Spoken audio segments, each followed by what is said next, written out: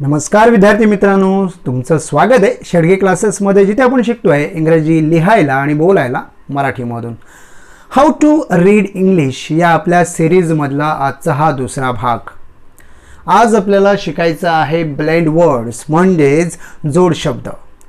तत्पूर्वी तुम्ही या चॅनलवर नवीन असाल तर सबस्क्राईब करायचं आहे मित्रांमध्ये शेअर करायचं आहे. सो वळूयात आपण आपल्या आजच्या लेक्चरकडे सो आजच्या लेक्चरचं नाव काय आहे? तर blend words. Okay blend words म्हणजे काय? बघा.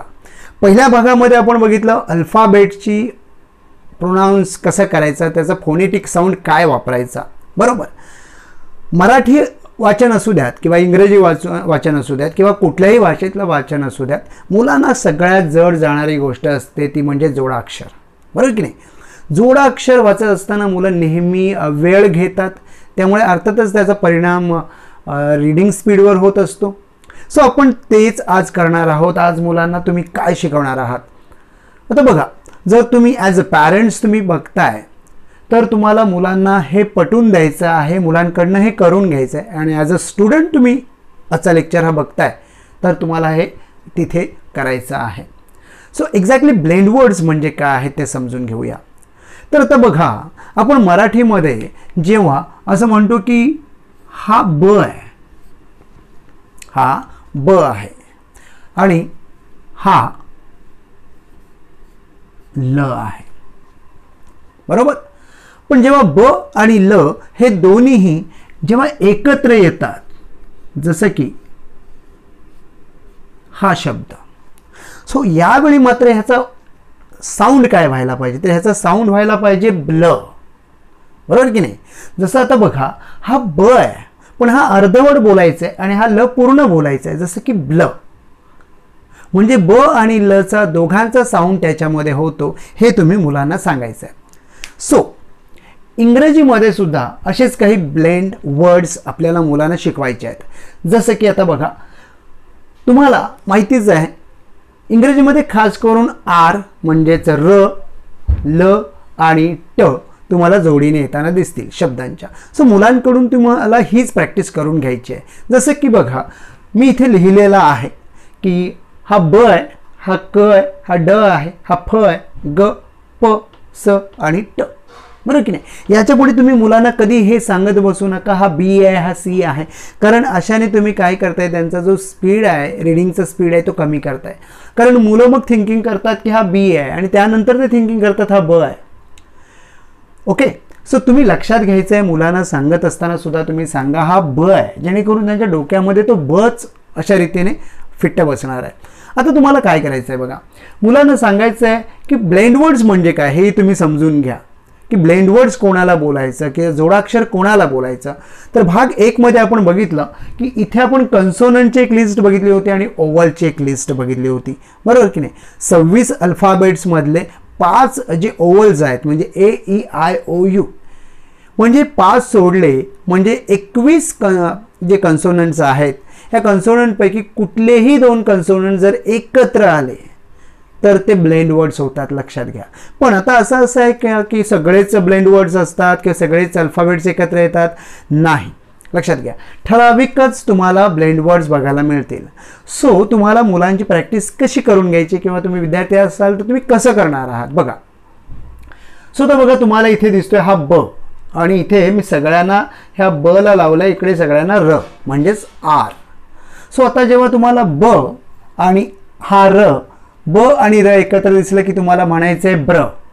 काय म्हणायचं आहे ब्र. आता बऱ्याच जणांना कळत नाही की ह्याला ब्र कसा म्हणायचं की तुम्ही कदाचित तुम्हाला सोपं पण वाटेल पण शिकणाऱ्याच्या दृष्टिकोनातून बघा त्यांच्या मानसिकतेतून बघा तर तुम्हाला कदाचित लक्षात येईल त्यांना ते कठीण पण वाटेल.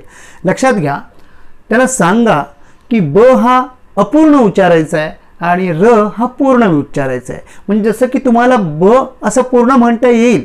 ब र.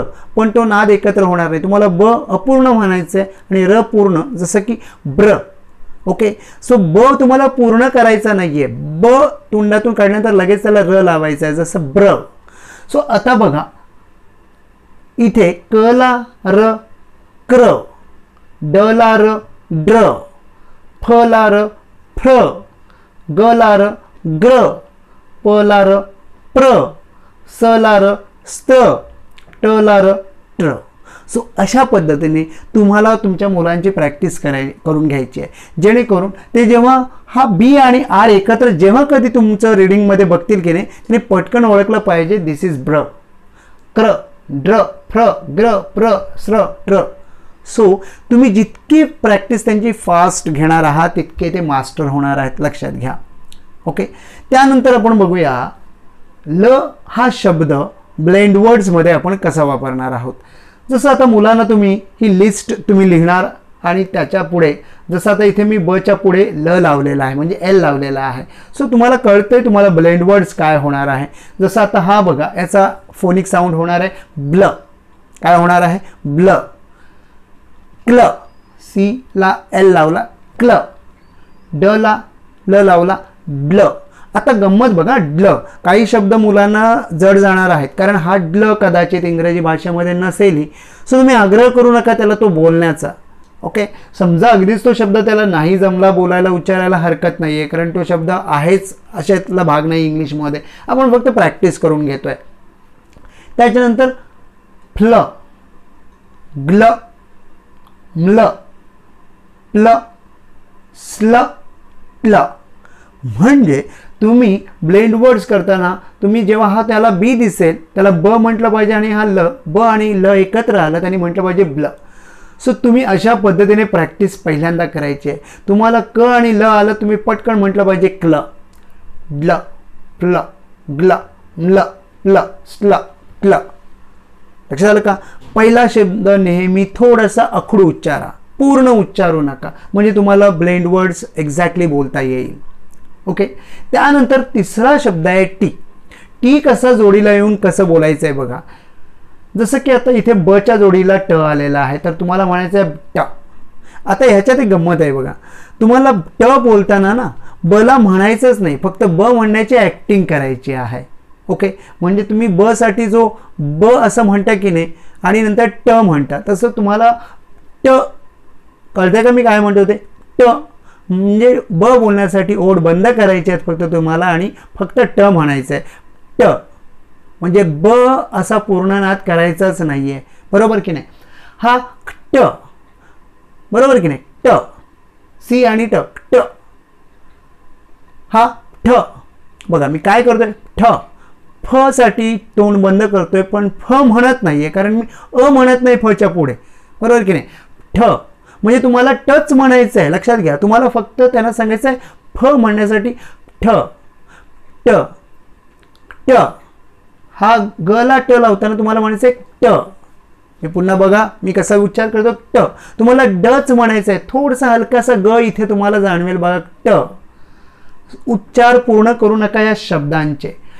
ट. ट. स्ट. हा मात्र स साधारणतः पूर्ण उच्चाराचा होतोय. सो आय होप अशा पद्धतीने तुम्ही ब्लेंड वर्ड्स मुलांना शिकवणार आहात. त्यानंतर तुम्ही इकडे उजव्या कोपऱ्यामध्ये सुद्धा बघताय. इथे सुद्धा तुम्हाला दिसतील काही कन्सोनंट्स मी लिहिलेले आहेत. जसं हा सी आय के आहे म्हणजे क आणि क आहे. हा क आहे आणि ह आहे. हा स आणि ह आहे. हा टी एच म्हणजेच त आणि ह आहे पण आता मुलांना हे सांगा की हे ब्लेंड वर्ड्स नाही आहेत हा एकच अक्षर आहे इंग्रजीमध्ये. सो जेव्हा कधी सी आणि के एकत्र येईल तेव्हा त्याला क हे शिकवा. जसं की हा क आहे. हा सी एच म्हणजे च आहे. हा एस एच म्हणजे श आहे. आणि टी एच म्हणजे द आहे किंवा थ आहे.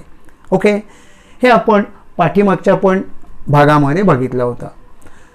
सो तुम्हाला अशा पद्धतीने ह्या ब्लेंड वर्डची प्रॅक्टिस करणार आहे. लक्षात घ्या हा लेक्चर थोडासा छोटा नक्कीच झालेला आहे मात्र खूप कामाचा आहे. कारण जेव्हा तुम्ही वाचायला जाते तुम्ही वाचायला जाल किंवा तुमची मुलं तुम्ही पालक म्हणून त्यांना शिकवताय तर ते जर वाचायला जातील त्यावेळी त्यांना डेफिनेटली ह्या ब्लेंड वर्डची मदत होणार आहे. सो तुम्ही त्यांच्याकडून ब्लेंड वर्ड्स पाठांतर करून घ्या. ह्या लेवलने तुम्ही पाठांतर करून घ्या जेणेकरून त्याला जेव्हा कधी तुम्ही हे एखाद्या ह्याच्यातलं जरी तुम्ही लिहिलात की नाही तुम्ही जरी असं लिहिलं आणि सांगितलं what is this read this असं तुम्ही म्हटलं तर त्यांनी म्हटलं पाहिजे फ्ल इतक्या पटकन त्यांनी म्हटलं पाहिजे. पहिल्यांदा तुम्ही वाचन करण्याची घाई करू नका. बेसिक गोष्टी त्यांना प्रॉपरली हे शिकवा. आय होप तुम्हाला ब्लेंड वर्ड्स ही गोष्ट कळली असेल. जर तुम्हाला काही प्रॉब्लेम्स ब्लेंड वर्ड्सच्या फोनिक साऊंडमध्ये वाटत असतील तर कमेंट बॉक्समध्ये नक्कीच सांगा मला. मी नक्कीच अजून ह्याच्यामध्ये इम्प्रूव्हमेंट करेन किंवा मुलांना अधिक सोपं कसं जाईल हे सांगण्याचा प्रयत्न करेन.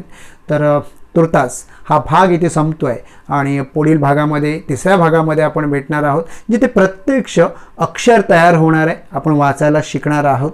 हा व्हिडिओ आवडला असेल तर लाईक करायचे मित्रांमध्ये शेअर करायचे आणि सबस्क्राईब करायचे.